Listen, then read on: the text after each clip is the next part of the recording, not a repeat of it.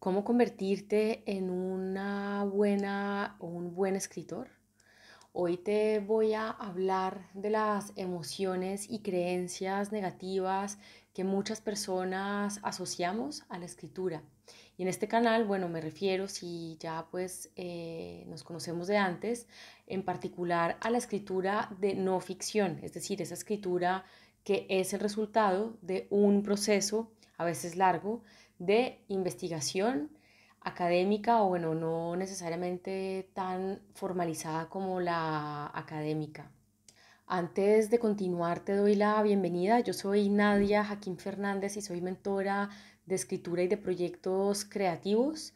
Bienvenido pues de, de, vuelta, bienvenida. Y si es la primera vez que llegas acá, pues bienvenida a esta mentoría que se llama Mind Academia que fundé ya hace unos años. Las emociones y las creencias son de hecho el aspecto más importante de mi trabajo. Es la base para que todo el resto tenga sentido. El resto, digamos, de aspectos que toco como los métodos y sistemas de escritura o el trabajo de planificación o la negociación de situaciones complicadas para poner límites o pedir lo que necesitamos, etcétera, no sirve de nada si crees que no eres ni puedes ser realmente buena en esto.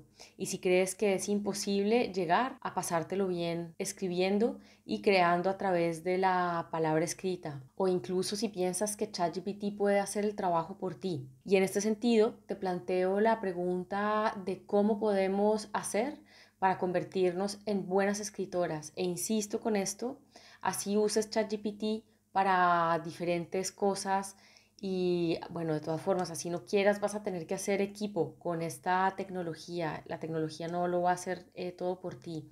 Y vas a tener finalmente un papel activo también en esta situación de trabajo si es la que elegiste para ti. Aquí va entonces la respuesta a la pregunta de, bueno, ¿cómo puedo hacer para convertirme en una buena escritora? Y al final del video te voy a dar cuatro ideas más, cuatro pasos para que esto lo puedas ver como una posibilidad para ti, para que lo puedas visualizar. También te dejo debajo en la caja de descripción aquí el cuestionario de bloqueos de escritura con el que en 10 minutos vas a poder ver con más claridad qué te está impidiendo desarrollar tus ideas por escrito, ¿de acuerdo? Entonces, en primer lugar, para que sea posible que mejores en tu escritura, primero tienes que convencerte de que esto es una posibilidad para ti. Y no se trata que desvariando digas que vas a ser capaz de hacer algo que en este momento fue, está realmente fuera de tu alcance, sino de que integres lo que sabemos gracias a la investigación que existe en el área de los estudios sobre la escritura como práctica social y en el área de la psicología que estudia el comportamiento, que ha mostrado que cualquier persona puede llegar a ser buena en lo que se proponga con una práctica focalizada hacia unos objetivos que se marcan previamente y con una guía externa que permita una retroalimentación inmediata, en tiempo real incluso. Y abajo pues te dejo las referencias de los estudios que explican esto. Si la práctica y la retroalimentación focalizada en ciertos objetivos es la clave para escribir bien, lo realmente básico para que todo esto sea posible, e insisto, es que la persona, o sea, tú y yo y cualquier persona, digamos, eh, que esté en esta situación, crea que esto es posible. Para esto tenemos que cuestionar lo que alguien o diferentes personas nos dijeron sobre nuestras habilidades para comunicar nuestras ideas y mm, digamos, mm, cuestionar lo negativo que nos hayan podido decir sobre cómo escribimos. A veces, si lo piensas, un comentario o comentarios repetidos de alguien, pues realmente ensañado en corregirnos con mala onda, puede hacernos creer que no somos capaces de hacer algo. Y luego tenemos que creer que el saber hacer bien algo que deseamos, en este caso la escritura, no se trata de unos dones innatos. Y no me voy a cansar nunca de repetirlo, ¿vale? Porque es tremendo cómo lo tenemos tan integrado y lo tenemos como algo evidente cuando en realidad no lo es. Y es que aunque haya personas eh, que, bueno, por lo que sea, tienen una facilidad para algunas cosas, esto, digamos, es solo una línea base que sin entrenamiento se puede quedar en nada, ¿de acuerdo? Esto de, pues, que hay personas que de pronto tú eh, o en tu experiencia incluso notas que tienes algunas eh, habilidades, pues, mm, que puedes interpretar como que son innatas, que en realidad yo creo que nada es innato, pero digamos que eso se puede quedar ahí si no lo entrenas. Se necesita este entrenamiento y lo repito. Así admiremos mucho a las personas que lo hacen bien a nuestro alrededor, por ejemplo, escribir o publicar mucho, y pensemos que lo hacen sin esfuerzo, esto no es cierto. Y te pido pues que, que lo pienses por un momento. Estas habilidades se deben a la práctica acompañada incluso por personas expertas. A veces este acompañamiento ocurre de forma pues eh, eh, informal justamente y a veces más formalmente. Pero en esto, en cualquier caso, el privilegio que tengan las personas desde pequeñas realmente juega un gran papel, eh, un papel bien importante. Por ejemplo, al acceder a cierto entrenamiento académico desde pequeñas porque, bueno, te lo pudieron pagar o porque tus cuidadores eran profesores, profesoras. Eh, por ejemplo, el haber aprendido a hacer preguntas desde pequeñas, el saber leer con un método desde que, pues esto, eh, comenzamos ¿no? en todo esto del entrenamiento académico, el estar escribiendo textos desde pequeñas o vivir en una casa con una biblioteca, etc. Me gustaría que con este video un poco especial, las personas o tú, si es tu caso, que si piensas que has llegado hasta aquí porque has logrado engañar a un montón de gente en el camino, pues que te lo puedas cuestionar Seguro pues te suena el típico síndrome de la impostora, pero realmente me gustaría ir un poco más allá, porque si por ejemplo eres una persona, eh, pues una mujer, o te identificas como mujer, o eres una persona racializada, probablemente esta situación de cuestionamiento de tus capacidades tiene una base real y no está en tu imaginación, sobre todo si te han cuestionado en tus capacidades eh, por un prejuicio, o sea, antes de que tengas la oportunidad de mostrar tus capacidades o que incluso, habiéndolas mostrado, no se te reconozcan. Y esto está relacionado muy seguramente con una mirada patriarcal y colonial que devalúa por defecto lo que venga de ti. Y en este sentido, pues cuestionar la veracidad de este prejuicio, ya lo puedes ver, va más allá de un ejercicio mental individual y en realidad se convierte en un tema político de incluso reivindicación de tu lugar, digamos, por ejemplo, en la universidad. Y relacionado con lo anterior, este video también apela a las personas que tienen que gestionar la experiencia de haber recibido críticas duras a sus trabajos, algunas seguramente tan desafortunadas que han tenido algún matiz de crítica personal y no tanto sobre el texto mismo. Eh, cosas como si sigues así no vas a acabar o no sabes escribir, este tipo de cosas. Por ejemplo, me acuerdo que cuando yo estaba escribiendo mi primer paper, y esta anécdota la conté, me acuerdo, en mi blog hace un tiempo, pero no la había contado por aquí, creo, era mi primer paper a partir de una investigación, ¿vale? Que apenas estaba en proceso. Y uno de mis cotutores, al que le mando un saludo desde aquí, le dijo a una persona que era mi colega y hoy en día amiga, que era terrible cómo escribía, que yo no sabía escribir.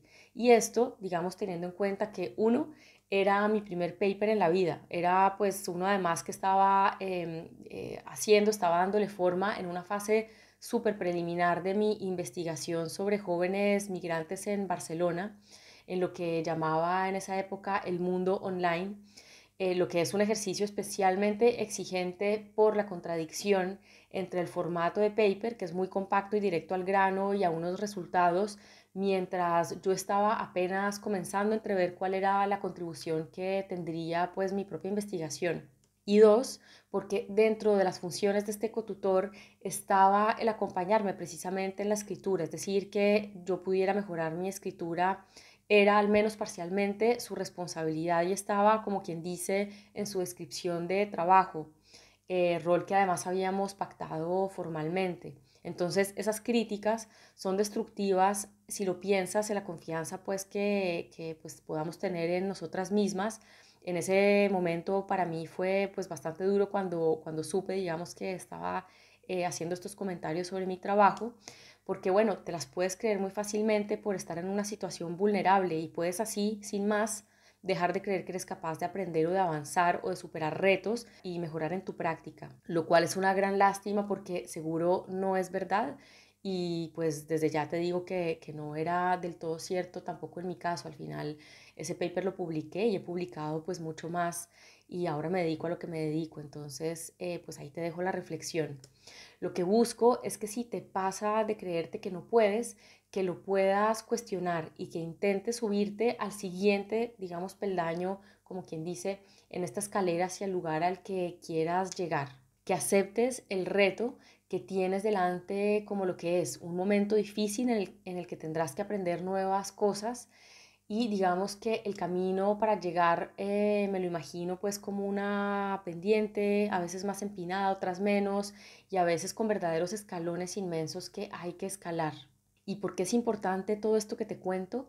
Pues para evitar que te cierres a las oportunidades que tienes para aprender lo que no sabes hacer hoy en día o que no te sale como necesitas o esperas. Es decir, que evites hasta un punto lo que se suele llamar la indefensión aprendida, que te haga pensar que no puedes y que al estar convencida de que no puedes y al centrarte solo en las barreras, se vuelve realmente una profecía autocumplida porque paras de intentarlo. Y claro, si paras de intentarlo, pues ya sabemos cuál puede ser el resultado, ¿no? Identificarte a ti misma como alguien que es mala para algo te hará ir con vergüenza, con timidez y no ver tus posibilidades. Después de convencerte de que tú también puedes convertirte en alguien que escribe bien, el siguiente paso importante es identificar el reto. Te invito en este caso a que te pues des una oportunidad y elijas un reto que te veas capaz de superar, es decir, un reto tal vez no tan tan exigente, algo un poco más eh, cercano a tu rango actual y que sientas la satisfacción de lograr eh, superarlo. Ya vas a estar mejorando tus capacidades, ampliando tu rango de alcance. Este es el segundo paso después de lo más importante que es creer en que lo puedes conseguir. Y en tercer lugar, entiende con más exactitud qué tipo de objetivos necesitas alcanzar. Tipo, necesito saber cómo escribir un texto que se vea más o menos así. Eh, o necesito aprender a escribir mi análisis a partir de datos de campo y el resultado tendría que verse más o menos así. Realmente a lo que voy es que puedas pensar en indicadores de éxito, que esos objetivos sean lo menos abstractos posibles. Es decir, que te preguntes cómo es que vas a saber que has conseguido eso que te estás eh, proponiendo, ¿vale? En cuarto lugar, tener una hoja de ruta con una claridad de las acciones que debes poner en práctica y luego lanzarte a practicar es el siguiente paso, ¿vale? Y finalmente, en quinto lugar, recibir un feedback focalizado para ajustar tu práctica es un plus muy valioso que te va a hacer ganar un montón de tiempo y el practicar en grupo también te va a ayudar a ver que tus dificultades son más comunes de lo que crees y a ver las soluciones que ponen en marcha tus pares. Y bueno, de esto se tratan mis grupos y mis talleres de escritura, ¿vale? Bueno, esto es todo por hoy. Espero que te deje con una reflexión en el día de hoy con este video. Me va a encantar leerte abajo en los comentarios.